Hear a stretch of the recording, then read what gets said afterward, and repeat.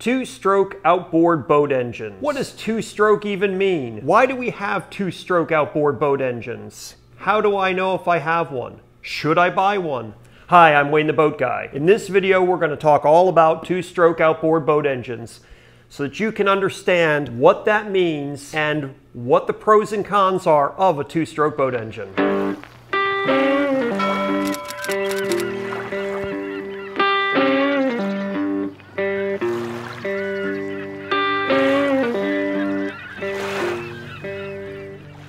First of all, if you're new to boating and new to boat engines, this should help clarify some things for you. If you have an outboard motor or you're looking at getting an outboard motor for your boat, there are two main types of engines that you can get. There are two-stroke engines and four-stroke engines. These two right here happen to be two-stroke engines. If you're looking at an outboard engine and it was built before the year 2000, the chances are pretty good if it's a smaller one especially, that it is a two-stroke outboard engine. Because before 2000, many of your outboard motors were two-stroke motors. Many of your newer motors are now four-stroke motors. And in some areas, two-stroke motors are no longer legal to be sold. And I'll explain why. First of all, why are they called two-stroke? Without getting too technical, let me break it down to you like this. Two-stroke comes from a term about the mechanicals inside of the engine that the piston actually only requires two strokes to complete a cycle. In a four-stroke engine, the piston requires four strokes to complete a cycle. That's the basics of it. If there is a place to add oil to the engine, chances are it's a four-stroke. A four-stroke engine, much like a car engine, has an oil sump that stores oil. Many of them have an oil filter. Many of them have a place to check and fill oil in the engine. Some of the smaller four-stroke engines only have a sight glass in the side to show the oil level where you fill it back up, but they still have an oil sump. A two-stroke engine like these are do not have any kind of oil tank or oil sump in the engine at all all of the lubrication for the engine to keep it from seizing up and coming apart is oil that you're mixing in with the gasoline and that literally flows through with the gas and out the exhaust. Hey, if you like this video, be sure to give it a like down below. Because of the fact that the oil is mixed with the gasoline is why two-stroke engines smoke more than four-stroke engines because they're burning oil all the time. And because a two-stroke engine actually burns oil with the gas and smokes a little bit more is why many manufacturers aren't making them anymore and in some places two-stroke engines are not allowed to be sold new or used on certain bodies of water. I believe in Australia you're not allowed to buy a new two-stroke outboard engine and maybe in the US we'll be there very soon. And it's because a two-stroke outboard engine actually pollutes more than a four-stroke outboard engine.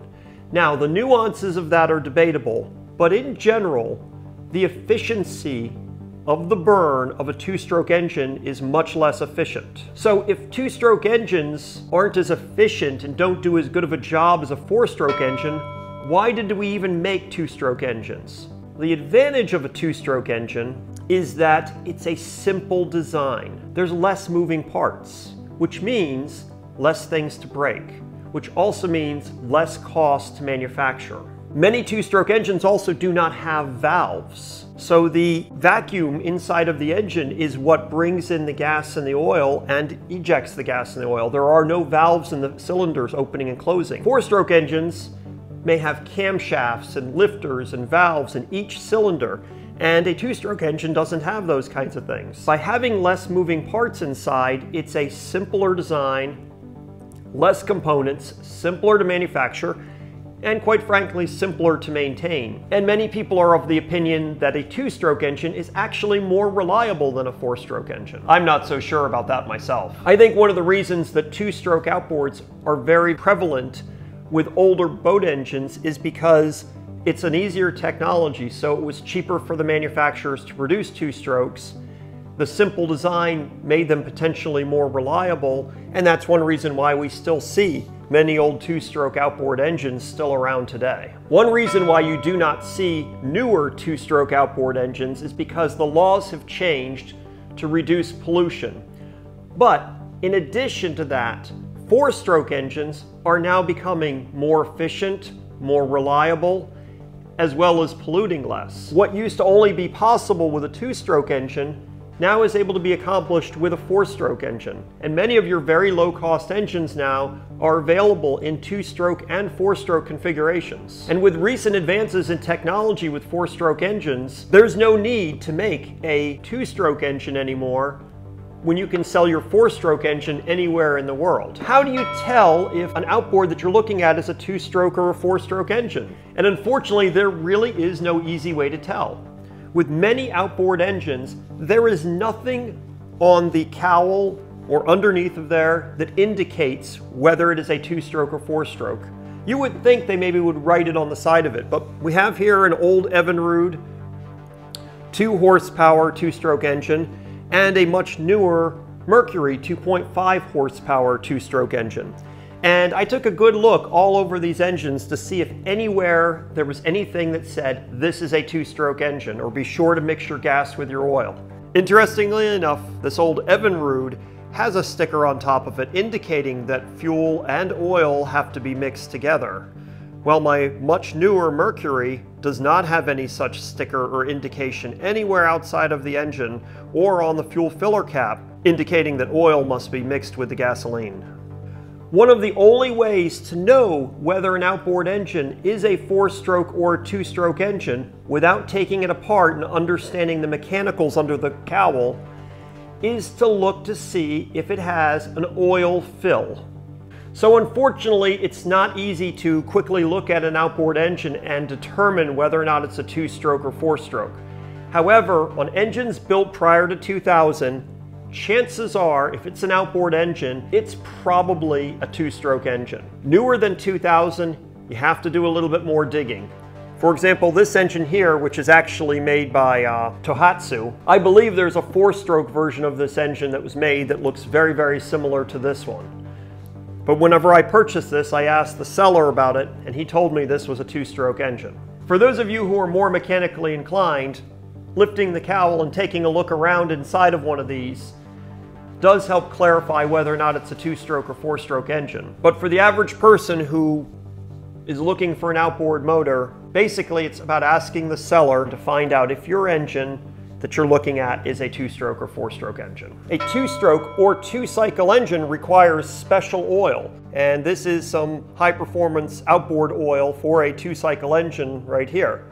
I'll have a link to be able to purchase some of that via Amazon in the description below. You do not just want to take your 10W30 from your car or your 0W20 and mix it with some gasoline and put it in your two-stroke engine.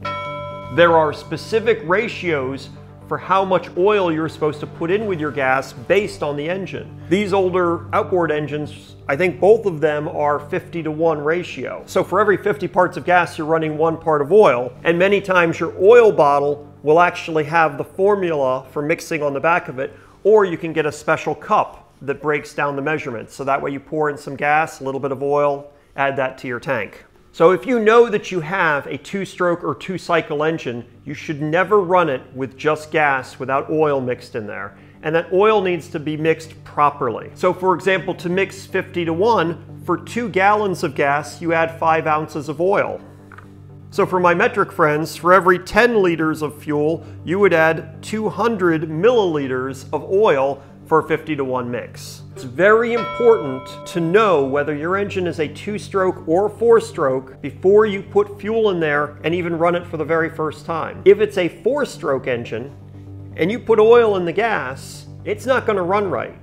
If it's a two-stroke engine and you run it with gas without oil in it, you're going to seize up the engine. It's not going to be right. It's not going to last you long at all. Because a two-stroke engine always requires oil to either be mixed with the gas or injected into the engine. I used to have a 1985 Evinrude V4 that was a two-stroke engine and it was oil injected. So it had a separate oil tank with a hose that went into the engine where it injected it into the engine itself. But most two-stroke engines require you to mix your gas and your oil in the gas can, or in the case of a really small one like this, where it has a built-in fuel tank, you mix your gas and oil before you pour it in here. As far as which one is best for you, they're both good. Two-stroke engines are definitely a really great option for boaters on a budget if they're allowed to be used in the waters that you're boating in. One of the things that makes having a two-stroke engine tricky is that you always have to remember to mix your gas and your oil. So you have to have a special container that is just for your two-stroke engines where you mixed your gas and your oil. And if you happen to have something like a two-stroke uh, weed whacker or something else, that might use a different ratio mix than your outboard engine. So then you have to have two separate gas cans, one with your 35 to 1 mix and one with your 50 to 1 mix. So that does complicate things a little bit more. And obviously if you're running a four-stroke outboard engine, you can just put gas in there just like you do your car. It really comes down to what's available to you, what you're allowed to use on your bodies of water, and which one you prefer. However, I do know that a two-stroke pollutes more than a four-stroke, and so the idea of running a two-stroke out on my river, knowing that it pollutes a little bit more than a four-stroke, that doesn't sit too well with me, but that's just me personally. Be sure to check your local regulations, because if you plan on boating on a specific lake, they may not allow a two-stroke engine to be used on there. They may not even allow a four-stroke engine to be used. There are some lakes and bodies of water that do not allow any gasoline engines at all. So be sure to check before you go to purchase something like this if you're going to use it in a very specific body of water. In the upcoming years, there may be more and more bodies of water that prohibit or restrict the use of any type of gasoline engines and may require people to use electric motors only. As I've mentioned in some of my other videos, I would love to be running an electric motor on the back of my little boats. However, these are a whole lot cheaper than an electric outboard is right now. The price isn't even close. When I can consider that I can buy a used one of these for a couple hundred dollars and an electric outboard is going to cost me a couple thousand dollars. As far as which one is best, I don't think there is a best between a two-stroke and a four-stroke. They both have their pros and their cons. As of right now, it really comes down to the economies of these types of things. I can buy a used two-stroke outboard engine like this one here that's very nice for a few hundred dollars. Because there's so many two-stroke engines that are still out there and available, many times people will still be making the decision to run a two-stroke engine until it's no longer viable to run a two-stroke engine. So I hope this video helped explain and clarify the difference between a four-stroke and a two-stroke outboard engine so that you can make a better informed decision as to what type of engine is right for you and your boat. And here's another video that's similar to this one for your viewing pleasure, and a playlist of videos similar to this one as well. Thank you so much for watching and stay safe out there on the water.